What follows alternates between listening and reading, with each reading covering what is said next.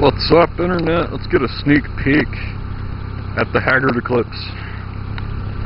Oh man, this thing is fantastic. As you see, we've got the 1.8 liter 4G37 with a mighty less than 100 horsepower.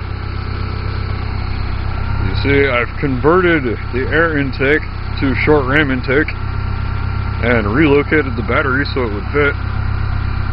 Very nice. Got these lovely parking lights on here.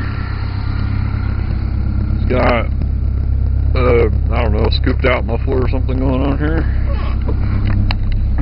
We've got some stuff to fix in here. As you might be able to see, less than 150,000 miles on this car.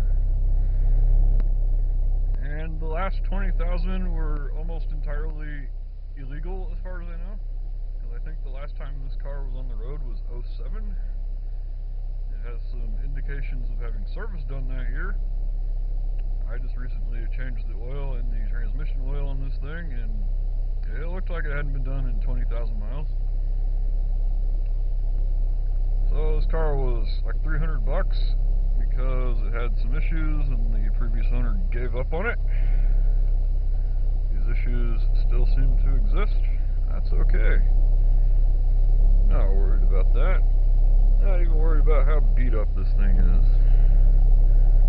Still got some stuff to do here. Gotta get that replaced before it can pass inspection. Gotta do the work on the exhaust. Here's what we're really here for.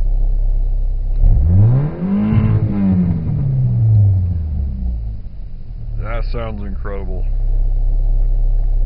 I'm going to drive this car like I hate it. It's going to be a lot of fun, and I might even trash it. But everyone should have a crappy car that they drive like they hate.